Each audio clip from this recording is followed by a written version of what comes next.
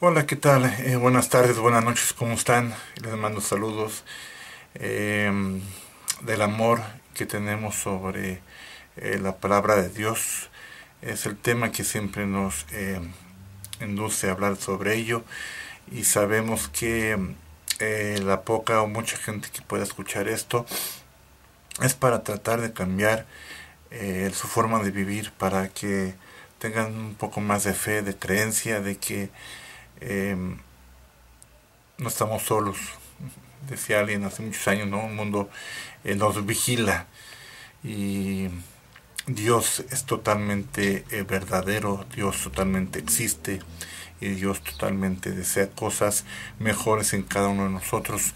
Hoy quisiera tratar un tema que em, eh, a veces, em, a mí en lo personal a veces me da coraje en cuanto a que este... Mm, mucha gente opina sobre la Biblia y a veces, y si hay gente que la ha leído toda y, a veces la usa para su propio eh, bienes, su propia creencia de que él lo sabe todo, eh, en su propia creencia que él puede decir qué es lo bueno, qué es lo malo, en su forma de triste, pobre de vivir, y refutar a aquellos que en realidad la estudian y menospreciando lo que debe de ser.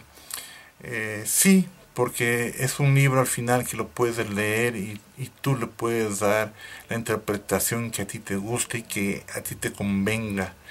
Eh, hay estudios eh, en iglesias cristianas, he escuchado, donde este, ha habido pastores que hacen em, estudios donde dicen que David tuvo eh, más de mil mujeres, igual es eh, el rey Shlomo, su hijo, Salomón, y han hecho estudios en los cuales lo predican a su congregación y hacen que las esposas de la gente que va ahí se acueste con ellos y que la esposa del pastor, la pastora que le llegan a llamar o a nombrar, es la que hace las citas para, para estas eh, situaciones.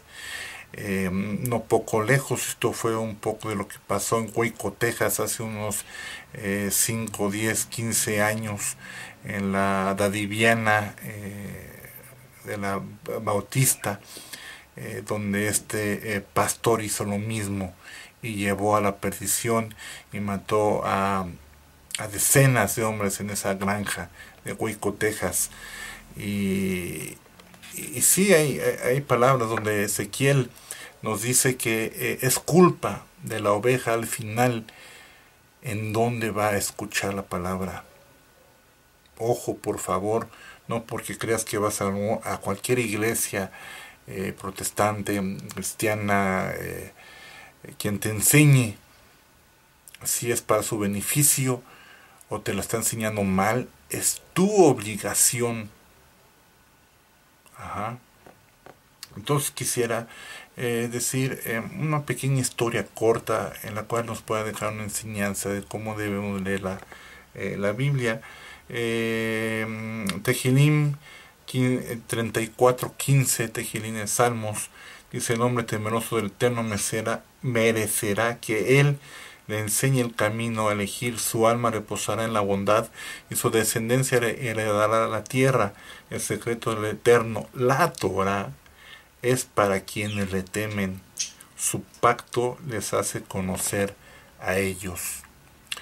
Temer, eh, ya lo hemos hablado, no es tanto de un temor de miedo, sino un temor a como cuando invitas tú, si invitas al presidente de la República a tu casa a cenar, ese medio quiero quedar bien, no le quiero dar lo mejor de cenar, quiero tener mi casa preparada, quiero estar guapo, quiero lucir bien. A eso es un poco de reverencia. Tener eh, esa reverencia para no decir mis cosas y afectar a los demás sino tratar de ser verdaderos y genuinos a lo que Dios quiere. Esta parábola dice así, el rey, quien deseaba poner a prueba la inteligencia de sus sirvientes, repartió entre ellos rollos de seda, el más diligente e ingenuoso eh, de sus eh, trabajadores em, tomó su rollo y separó el material más selecto, tras lo cual nuevamente tomó lo mejor una vez más de los rollos y quedó dividido y lo dividió en tres clases de seda, la fina, la intermedia y la que no era tan fina, por decirlo así, la inferior. Em, luego destinó para cada parte el mejor uso posible de cada una de estas telas y recurrió a, talentosos artesanos em, para que le hicieran y le confeccionaran conforme a ese material unos vestidos elegantes, hermosos, de diferentes estilos y colores. Aquel sirviente diligente eh, vestía esas prendas cuando estaba en la presencia del rey. Dependiendo la fiesta, dependiendo el día, él se ponía las más elegantes para ciertas ocasiones, las intermedias para otras y las inferiores, pues para cuando no estuviera con el rey. Sabía dividir las prendas, el rollo de tela que le había dado. Mas el más tonto de los sirvientes, en cambio, empleó todo su rollo de seda para hacer lo que el sirviente eh, diligente había hecho con el material de menos calidad. Vendió lo que, eh, la, igual la dividió en tres y vendió la, la parte más hermosa, la vendió para que ganara más dinero. Tras esto y en forma precipitada, procedió a gastar todas las ganancias para, de, los, em, de la tela más fina y se fue a echar sus manjares, sus comidas, sus deleites más personales para él. No malgastó. Cuando el rey observó lo ocurrido, se sintió satisfecho con el comportamiento del sirviente dirigente ingenuoso. Lo acercó hacia él y lo promovió dentro de su círculo selecto, dentro del reino eh, donde está eh, los más allegados al rey. A su vez disgustado con su trabajador eh, más tonto, cuando supo lo que había hecho, lo alejó y lo mandó a un sitio más lejano, confinándolo a un extremo más desolado del reino donde pues ya no podía convivir con el rey, con sus más allegados porque había provocado su enojo. De forma similar, Dios entregó su Torah de la verdad a sus sirvientes, a los humanos, el rey, a sus sirvientes, para ponerlos a prueba. Cuando un hombre sabio y con eh, discernimiento estudia la Torah y la comprende claramente, él también actúa eh, y la divide conforme la sabiduría que tiene y la divide en tres partes.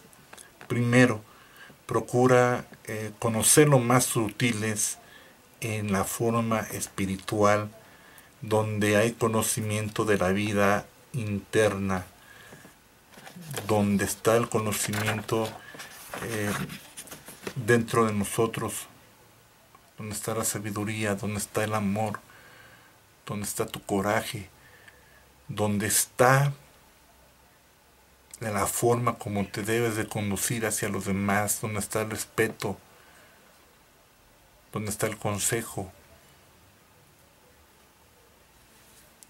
y la disciplina del alma para ejercerlo. Luego comprende la clasificación de la segunda parte de las telas de su conocimiento para los deberes corporales, los cuales poner en práctica cuando sea en el sitio correcto y en el momento apropiado. El saber comer, el saber bendecir, el saberse conducir hacia los demás, el saber dar, el saber eh, hablar, el saber dar consejos, el saber caminar, el saber mirar, el saber hablar, el saber respirar, porque en todo ello te están viendo como cuando vas a buscar trabajo, los de recursos humanos te están observando cómo llegas vestido, cómo hablas, cómo mueves la cabeza, cómo miras y los miras y no lo miras y bajas la vista, si todo eso tiene que ver cómo eres tú, si sirves a la compañía o no. Y la tercera parte son los registros históricos donde se queda la mayoría de la gente cuando lee la Biblia. Es donde aprendes quiénes son los personajes, las crónicas, las historias, y pues hablas de esos, habla de los tiempos, de cómo eran, de esos misterios, de cómo vestían, de cómo eran, y te atreves a decir, no, pues David era así, este Sansón también acá, muy fuerte, y yo soy como ellos, y todo lo que, donde se queda la mayoría de la gente, ¿no? Y cuando te abocas a las tres partes de la Torah y aprendes ciencias para corroborarlas a lo que dice ahí, porque la Torah es matemáticas y aprende la y todo y sabes todo eso aprenderá. Los misterios que Dios quiere para cada uno de nosotros, para cada uno en lo personal.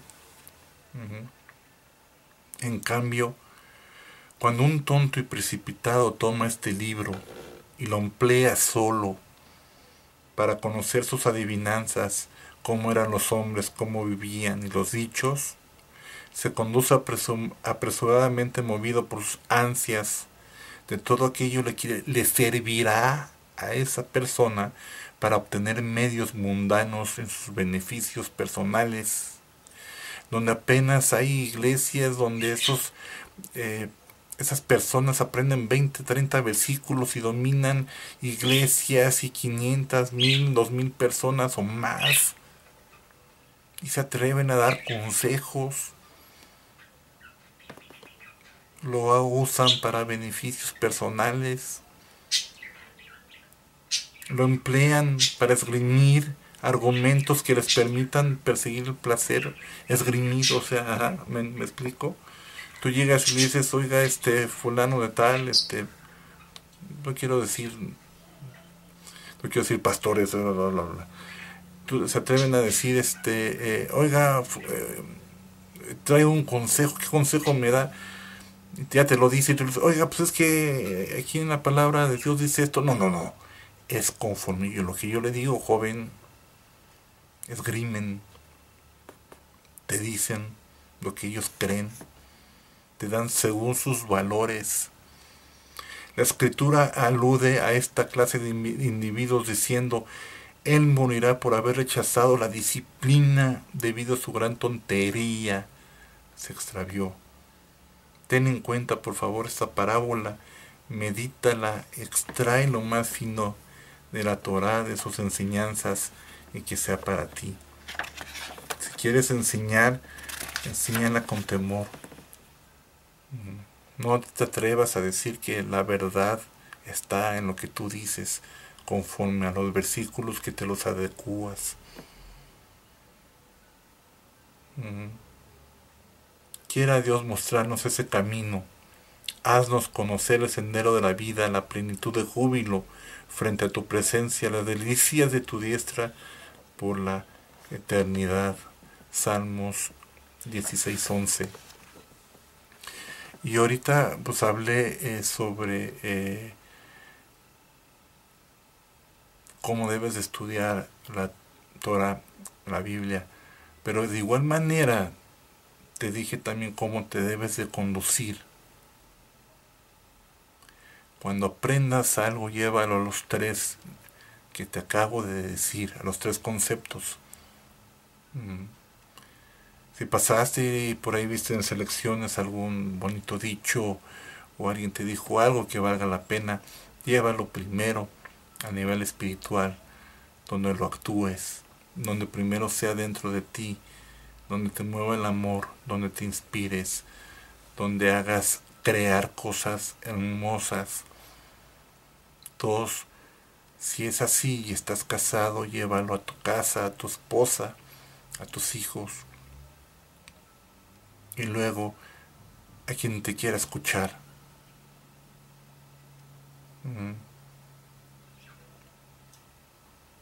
Dos, hasta la forma de hablar, condúcete. Limítate.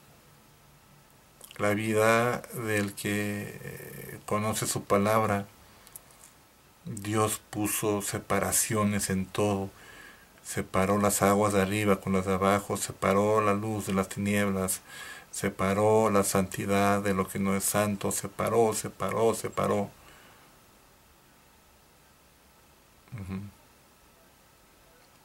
Aprenda a comer lo que se debe y lo que no. No. Aprende a hablar lo que debes. Aprende a ser verdadero, real. Espero te haya servido esta parábola. Te deseo lo mejor. Shalom. Que estés bien. Dios te bendiga. Si te gustó el mensaje, compártelo. Si no te gustó también, escríbete y dile a más personas que se inscriban.